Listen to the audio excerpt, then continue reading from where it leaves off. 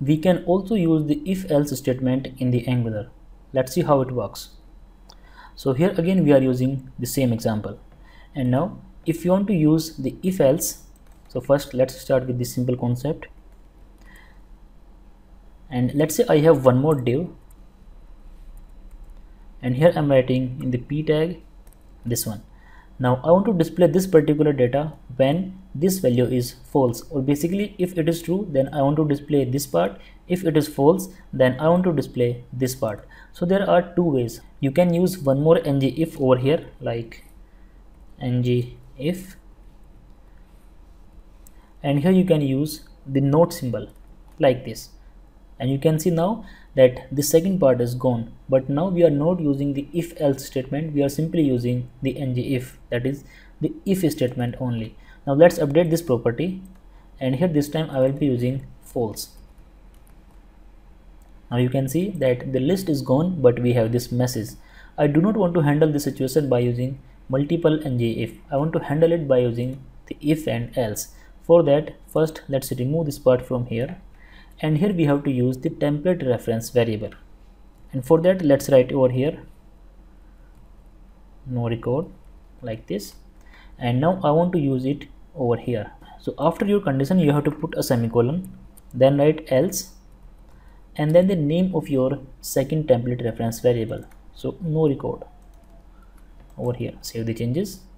Here you can see that we are having an error. It means we cannot use this else statement on the native HTML elements. In this situation, we have to use one more element that is provided by the Angular and the name of that element is ng template.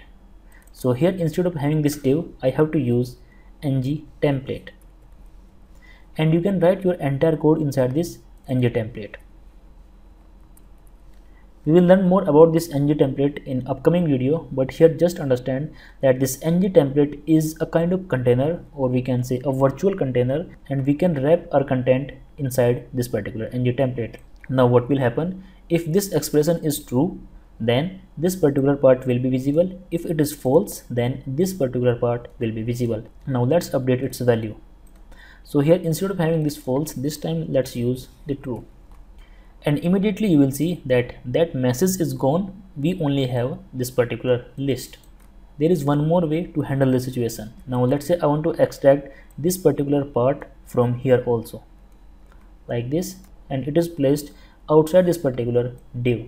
So here let's use one more ng template. So here we are having this ng template and let's put our entire content over here now I want to display this particular part. Once the condition is true else I want to display this particular part. So here let's use one more template reference variable. Record. And this time here I have to use then. And the name of my template reference variable. Save the changes. This time you will notice that if the condition is true then this particular part will be placed over here and that is why we are having this list. If its value is false then this particular part will be visible. So here you can see that we are having the false value and now the list is gone. We only have this message.